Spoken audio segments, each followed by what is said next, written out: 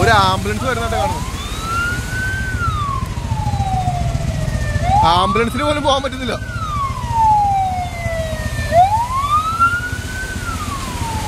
എല്ലാവർക്കും നമസ്കാരം. ഇപ്പൊ നമ്മൾ കാണുന്നത് ഏതാ സ്ഥലം നിങ്ങൾക്ക് പറയാൻ പറ്റോ ഇത് എടപ്പള്ളി കേട്ടോ എടപ്പള്ളി ടൗൺ ആണ് നിങ്ങൾ കാണുന്നത്. മൊത്തം വെള്ളക്കെട്ടാണ് ഇവിടെ. വണ്ടി ഓഫായി പോയി കേട്ടോ പലരുടെ വണ്ടിയൊക്കെ ഓഫായി പോയി. അത്രത്തോളം വെള്ളം ഉണ്ട് ഇവിടെ? എന്ത് പറ്റി നല്ലൊരു വണ്ടി ഓഫായി പോയി. എടോ വണ്ടി ഓഫ് ചെയ്താലേ ഓഫായി പോയോ? ആ നിക്കട്ടോ. ഓ ആക്സിഡന്റ് കുറയ്ക്കത് വെള്ളം കയറി പിന്നെ ഓണാവില്ല. ഒരു കാര്യം ചെയ്യാമോ? വണ്ടിയുടെ സ്റ്റാൻഡ് കെട്ടി പതുക്കെ. അവിടെ സ്റ്റാൻഡ് കെട്ടി ഞാൻ അങ്ങ് അങ്ങോട്ട് എടുത്തുതരാം. ഈ ഒരു കാര്യം ഈ സൈഡിൽ കൂടെ നടന്നങ്ങോ ഓക്കെ? ഈ ഫോണും പിടിച്ചിട്ട് പറയട്ടോ ഞാൻ ചാനലിന്നാണ് നിങ്ങൾ കുറച്ചുകൂടി വിഷലിയും കാണിച്ചു തരാം കണ്ടാൽ നമുക്കൊരു പുഴയായിട്ട് തോന്നും. നോക്കോട്ടോ നമുക്ക് വിശ്വസിക്കാൻ പറ്റുന്നു നോക്ക്. ബൈക്കാരെങ്ങനെ പോയി കണ്ടോ അവിടെ എല്ലാം ബ്ലോക്കാട്ടോ കേട്ടോ ഏ ഇതാണ് അവസ്ഥ നിലവിലെ അവസ്ഥ ഉണ്ട് ഇത്ര വെള്ളമുണ്ട് അവിടെ. കാരണം ആ അവിടെ എല്ലാം കുഴികളാണ്. നിങ്ങൾ എറണാകുളത്തോട്ട് വരുന്ന വണ്ടിക്കാരുടെ പ്രത്യേക ശ്രദ്ധയ്ക്ക്.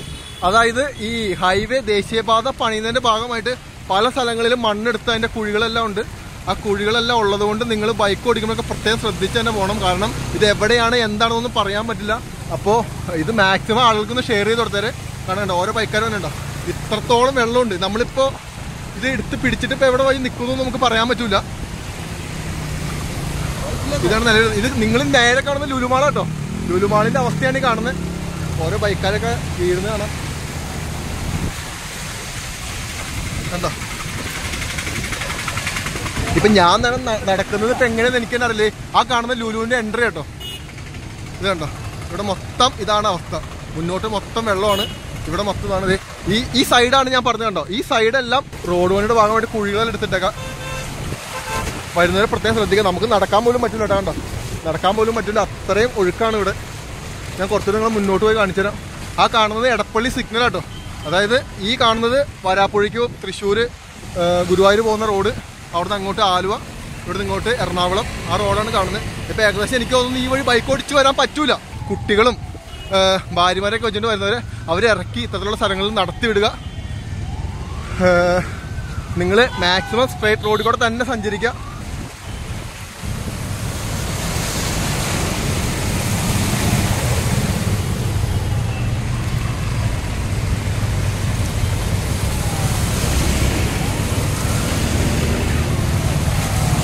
ഇതെല്ലാം വീട് കഴിഞ്ഞാൽ ഒരു മനുഷ്യൻ പോലും ഇല്ല ഇവിടുന്ന്.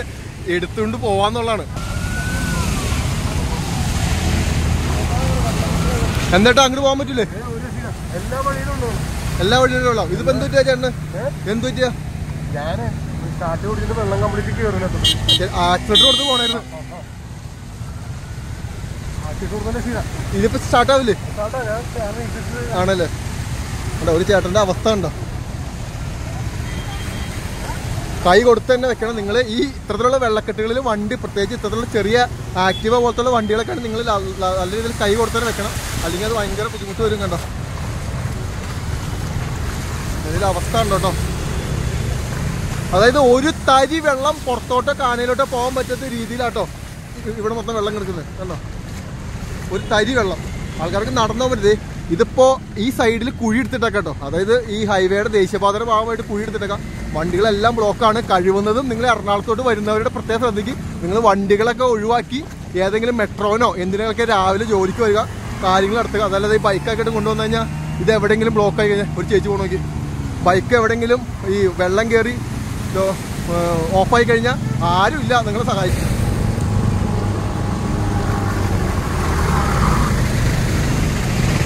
ഇതെന്താ കടലാണോ എന്ന്